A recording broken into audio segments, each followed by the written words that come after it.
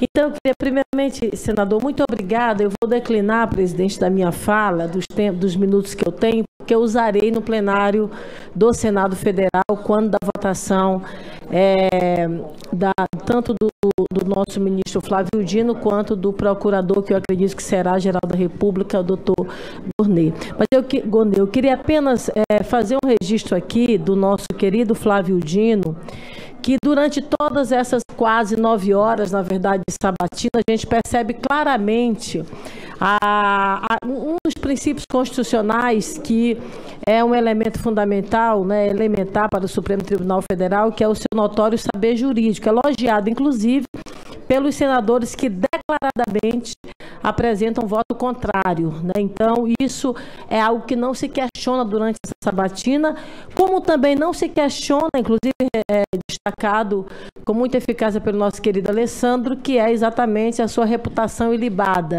Em toda a sua trajetória como deputado federal, como governador e como juiz federal, e como pessoa, como marido, como pai, a gente percebe isso com a Dani, que está aqui como sua esposa. A gente percebe claramente toda a sua correção e exatamente essa reputação ilibada. E aí, só frisar, que é o que eu falarei com mais profundidade no plenário do Senado, é, é, ministro Flávio Dino, Vossa Excelência tem aquilo que é muito fundamental para as relações humanas e para o exercício da vida pública, que é a empatia. E empatia é fruto da sua presença em todos os poderes da República do Brasil, legislativo, executivo e judiciário. Né? Ou seja, o senhor no Supremo Tribunal Federal, que julgará temas desde, por exemplo, da saúde, e aí casos específicos de doenças raras, que a gente está num embate muito grande junto ao Supremo Tribunal Federal, partindo para ações diretas de constitucionalidade e tantas outras em vários outros setores.